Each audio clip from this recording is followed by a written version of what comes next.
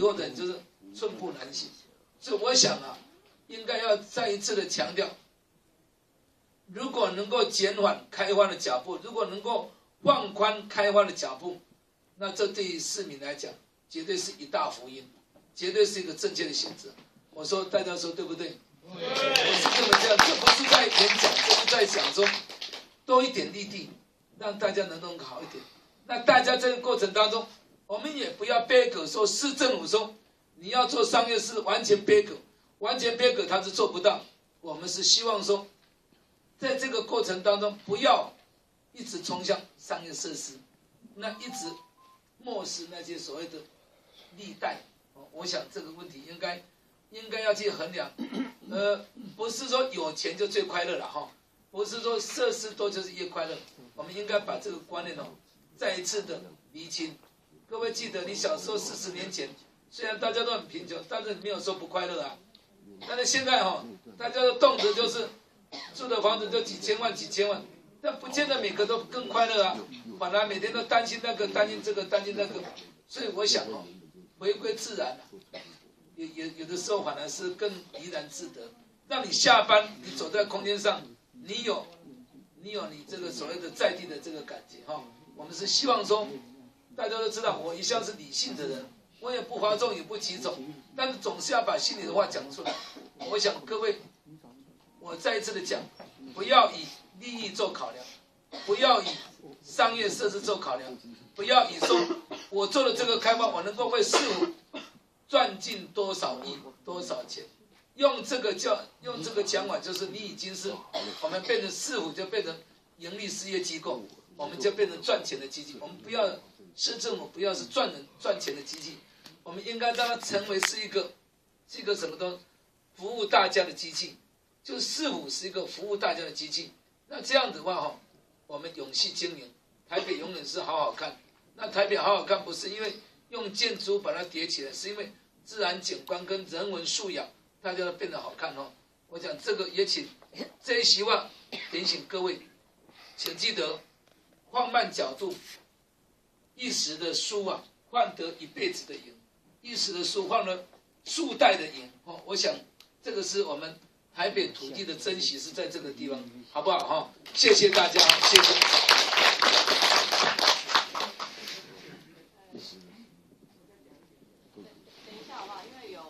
求一下哎，用这个机关用当初的机关用地哈，怎么会有商业用地出现呢？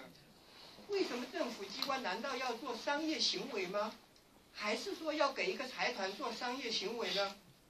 我们为什么不全部拿来做对公园用地跟这个商业区拿来做公园呢？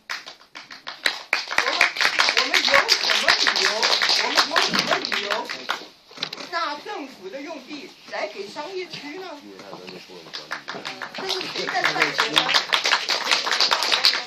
我我我另外想说哈，假如真的要划商业区，可以把福德街、大道路啊、松那个福德街、把四小林福街划划划商业区啊，他马上你今天画，他明天就干。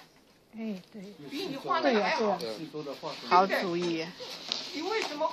我不晓得市政府用什么理由划商业区？这是给谁在赚钱呢？为什么他都可以发言两次啊？他们每个人都可以发言两次，那我要发言啊！我我我可以发，我我我可以不再发言啊？对不对？可以哈。对啊。还有两次都三次的。然后再。那第一次都没有，他们次、两次、三次一次发言。喂，大家好，我是林口街的居民哈。那我觉得首先要谢谢都发局的这个同仁啊，一起来到跟我们一起来开会。可是我想请问一下，因为你们有没有、你们、你们有没有来过这个平宅这个地方？有没有现场看过？你们知不知道在这个地方我们需要的是什么？或者我想问一下，问题是说，那个做设计的、做计划这个同仁、公这个这个官员。他到底知不知道林口这个地方的居民他们要的是什么？还是说，就是哎有一个土地，然后我想说我要做什么，我做什么这样设计吗？其实我很肯定哦，肯定那个都发局的工作很用心，只是恳请官员们哦，用的是在地人的心情来看这块土地到底要什么，我们到底要什么？我们刚刚讲到了，哎，这个地划是这样是这样划分，这样划分是官员划分的，不是我们划分的。想请问个问题是，有没有可能重新划分？好，然后第二步，因为我们刚刚有提到说，是不是可以重新计划，哎，重新设计？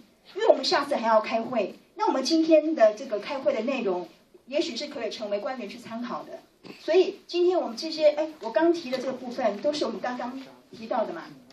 所以第一个，土地划分可不可能是重新划分，重新考考虑考虑这个规划的这个范围？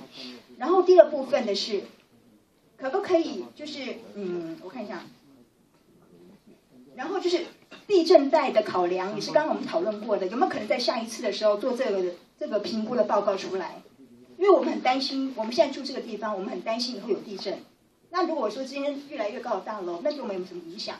如果没有影响，我相信我们在我们在地的居民是很乐意的。可是对于我们来住在这地方，我们会有这个干虑，所以可不可以麻烦在下次开会的时候，把这个样的报告、评估之类可以拿过来给我们参考一下？好，然后至于停车场，它的。大家有建议说，哎，停车场很好。有人也建议的说，哎，不要停车场。那有没有可能把那个有没有停车场的那评估也一并带过来？因为我觉得这对我们来讲，我们会很确定，是哦，原来优点是这个，缺点是那个，那我们会比较清楚我们到底要什么。因为我们现在已经有一个声音了，我要还是我不要，各占各各各有各的想法考量。可是如果大呃官员们能够把这些的资料统合起来的话，我想我们会知道说，哦。停车场的好处在哪里？然后没有停车场的好处在哪里？事实上，我们很希望绿地。为什么？因为林口公，因为广慈公园是现在我们住在附近的里面，我们非常非常喜欢这个绿地，因为现在是我们林，我们这边一直在逛街，这是运动的场所。所以，如果官员们都没有来过我们这地方来看过几次的话，他就这样划这样的地，我觉得这不是很公平的一件事情，而且他也。不知道我们在地居民在想什么？我觉得他如果要划分这样区域的话，也至少是我们同意的，而不是他来做决定的。谢谢。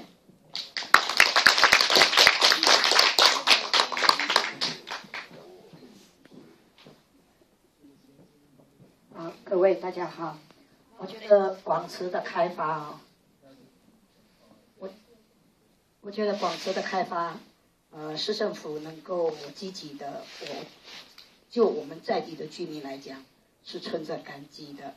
那我建议，我们是不是在都发局的网站上，呃，或是你们开辟一个窗口，那让你们的评估，让你们的规划，让我们知道。今天刚开始的时候，前面一位呃，林口街八十巷的一个呃太太，她说了，你们的变更我们知道吗？你们的改变我们知道吗？为什么建蔽率从两两百二十一变成四百四百二四百四？像这些我们都不知道，所以你们可不可以在网站？我想今天很愿意来开会的人应该很多，可是基基于他们的工作，基于他们的家庭没有来。现在网络是那么的发达，你们可以自己开辟一个在网页上让我们知道，那你们的规划让我们知道。接下来麻烦你们定期的召开李明的沟通大会。如果这样的话，意见的充分充分沟通，我想也可以。呃，就刚刚那位前面一位发言人所说的，那大家把这里的需要以及你们市政府的意向达到一个平衡点，我觉得这是双赢的局面。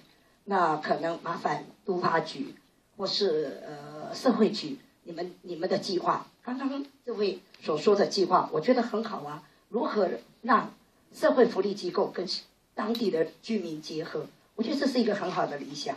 我们都会老啊，搞不好我们也很需要得到社会的资源啊。我觉得这些计划是不是可以在网页上让我们知道？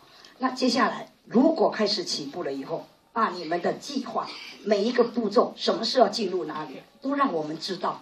我觉得很多东西应该要公开啊。那也可以让大家的沟通时间可以缩短。